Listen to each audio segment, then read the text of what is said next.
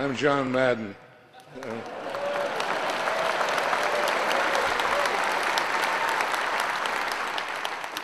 condolences to the family. You know, I'm sitting down here in front, and uh, I'm on the corner, and next to me is Joe Gibbs. Next to him is Dan Fouts. And the three of us are in the Hall of Fame because of Don Coryell. There's something missing.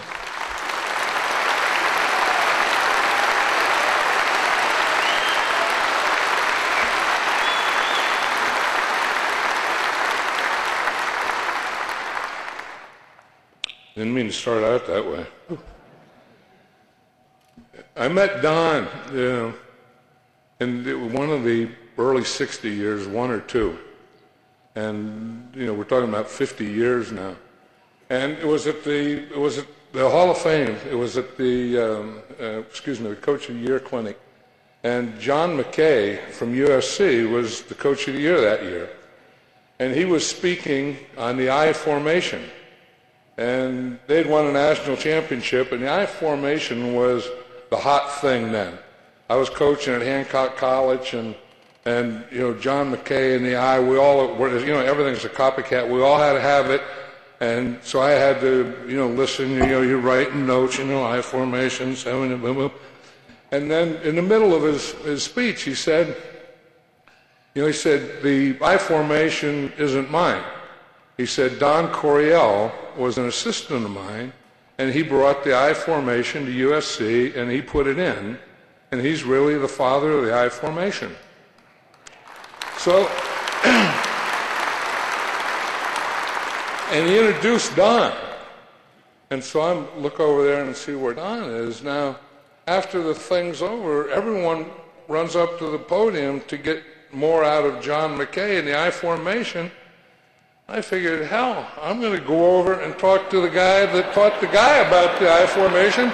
So I went over and talked to Don Coryell. And I sat with him the rest of the clinic. And he, he told me everything that I needed to know about the I formation. That, you know, he shared. And, and, you know, you think of Air Coryell and all those things, but I think 50 years ago, Don Coryell invented the I formation. And we look at pro football today, and if you use two back, everyone is still using the I formation.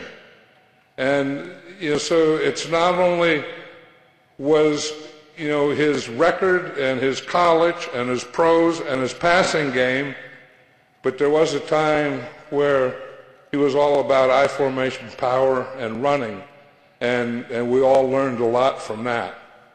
And you know, in every Don was a football genius.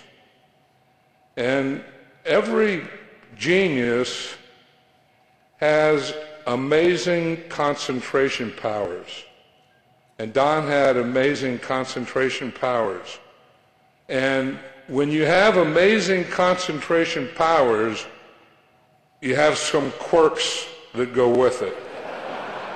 and everyone and every player that ever played for him, coached with him, knows some of those quirks. You know, like there was a time he's doing a game plan, he's sitting at his desk, he's writing, writing, writing, and food and eating wasn't a big deal to Don. He didn't have time, so he reaches down in a drawer and he pulls out an apple and it's rotten. It, I mean, it, he he ate like half of it three months ago, and he's and he's writing these. And he takes a bite. And I said, Don, that's rotten. He goes, oh, you know, throws it in there, and he wasn't thinking about eating. He wasn't thinking about the apple. He was, he was thinking about what he was doing. And his concentrated powers were, were amazing. He used to, he used to, he lived on top of a hill and he had a long driveway and then the street. So what would happen he, on, on garbage day, he would put the garbage can in the back of his white station wagon. He had a white station wagon he would drive it down to the bottom of the hill, you know, and then the quirks that go with concentration, that go with genius, he would make a right turn and drive the garbage to work 90% of the time. And then uh, you talk about stink. We'd be in two-a-days right here at San Diego State, and and after practice, Don would we'd all go out to dinner, so we'd get in his car. And on one of those garbage days, man, you get in that car and, and you'd pass out. I mean, you would want to walk or run to dinner rather than ride with Don Coryell. And then he did the same thing. The other trick was lived on top of the hill, and Elisa would come out with Mindy. Mindy was about four then. So the idea was Don would drive Mindy down the hill, let her off, she would walk back up, and Lisa would stand up and watch this whole thing and take her nap. Well, just like the garbage, Mindy wanted to ride to school. She didn't want to stay home. So Mindy would get in the back and she would be quiet. So Don would get down there, forget Mindy was in it. Now this would happen this would happen at least twice a week. And Don would come in to work and, and he had Mindy.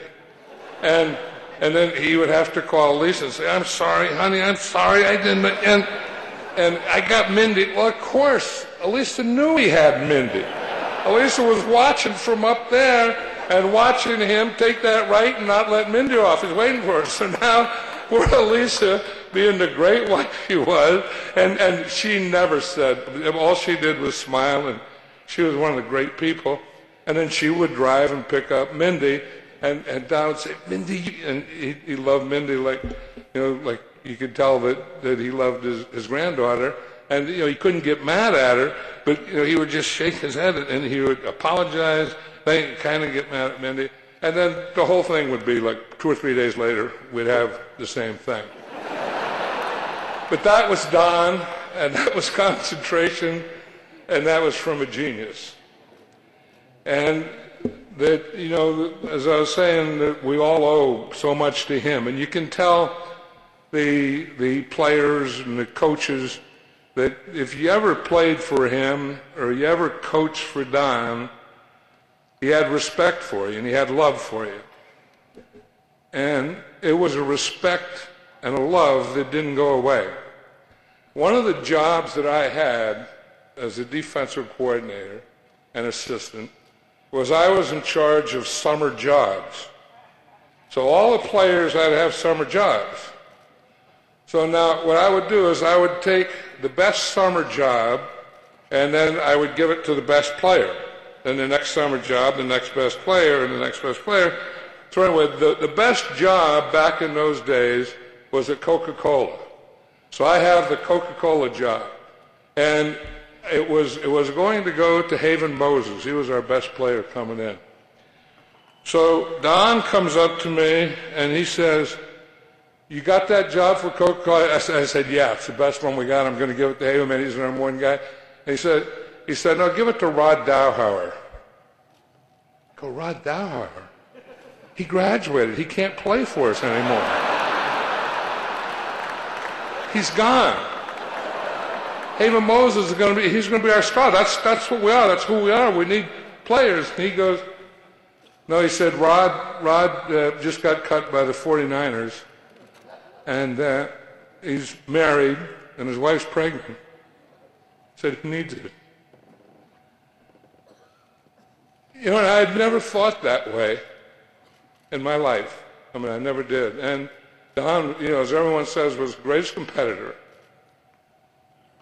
But where a lot of people do what's best for them